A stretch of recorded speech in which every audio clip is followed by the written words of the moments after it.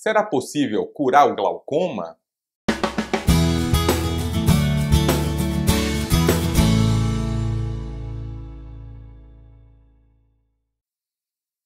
Olá, sou o Dr. Onassis Rocha e neste episódio vamos responder a esta pergunta.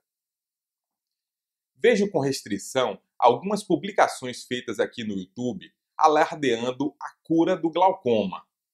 Algumas situações são confundidas com glaucoma.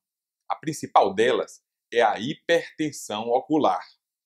Nem sempre a pressão do olho alta significa glaucoma. Existem condições nas quais esta pressão fica alta por um tempo e depois volta ao seu normal, com ou sem o tratamento. Um exemplo é o pós-operatório de uma cirurgia ocular, em que algumas vezes ocorre uma alta transitória da pressão do olho. Isso é frequente no pós-operatório de cirurgia de retina e após procedimentos a laser. Por outro lado, também existe a pressão do olho alta sem causa aparente. Algumas pessoas têm, por algum motivo, uma resistência maior a pressões altas e não desenvolvem um glaucoma. Classicamente, o glaucoma é entendido como uma doença na qual existe um tripé de características: a pressão ocular alta, a lesão do nervo óptico e a redução do campo visual.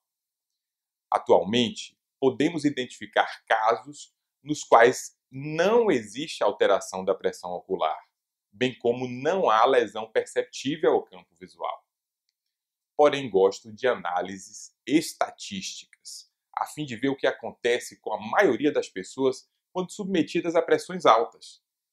Os estudos mostram que quanto maior a pressão, maior a chance da perda visual e essa perda, como ocorre de fora para dentro, ela não é notada.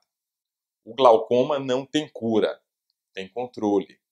Gosto de compará-lo a hipertensão arterial, a uma diabetes, doenças nas quais você toma ao menos um remédio ao dia e faz o controle periódico com seu médico. Exceção se aplica a um quadro de crise aguda de glaucoma, na qual curamos o paciente da crise mas mantemos a vigilância através do acompanhamento periódico dessas pessoas. Em muitos casos, fazemos o tratamento preventivo é, do outro olho, ele ainda não afetado.